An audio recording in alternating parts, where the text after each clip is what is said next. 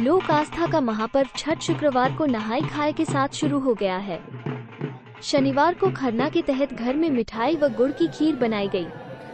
मिठाई व खीर को खाकर छठ व्रत प्रारंभ हुआ। पर्व को देखते हुए घाट की साफ़ सफ़ाई की। घाट में छठ पूजा की जाएगी। चार दिनों तक चलने वाले पर्व के दूसरे दिन शनिवार को खरना हुआ। रविवार 19 नवंबर को व्रतीधारी महिलाएँ संध्या सूर्य देवता को अर्घ्य देकर पूजन करेंगी। इसके अगले दिन चौथे दिन सुबह भगवान सूर्य को अर्घ्य देकर पर्व का समापन होगा।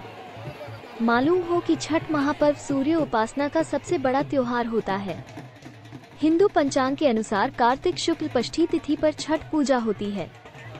भगवान सूर्य के साथ छठी माई की भी पूजा उपासना विधि विधान के साथ की जाएगी। छठी माई सूर्यदेव की बहन है।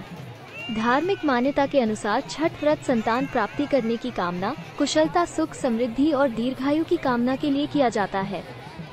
चतुर्थी तिथि पर नहाय खाए से पर्व की शुरुआत हो गई है।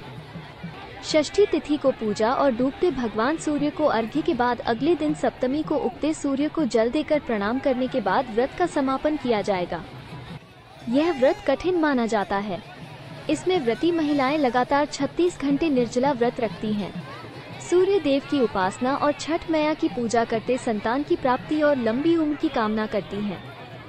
नहाए खाए के दिन सुबह जल्दी उठकर स्नान करने और साफ़ सुथरे कपड़े पहनकर भोजन करेंगी निर्जला व्रत रखकर छठी मैया की पूजा की जाएगी